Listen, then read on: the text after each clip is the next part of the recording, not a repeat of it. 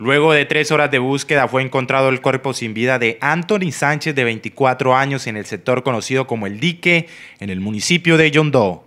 Según información de las autoridades competentes, el joven había desaparecido desde las diez y media de la mañana, cuando se encontraba bañándose en aguas del río Magdalena, cuando de un momento a otro desapareció.